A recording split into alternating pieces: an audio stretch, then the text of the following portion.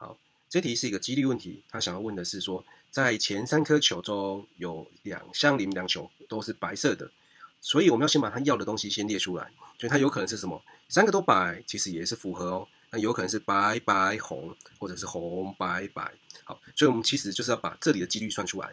好，那后面三颗其实怎样，我们不用管它，我们只要算这个几率。好，所以我们先来看第一个情况哈，要白白白，就是一开始有六个里面有三个白，取完五颗球剩下两个白，那接着呢四个里面剩下一个白，所以这是白白白的几率。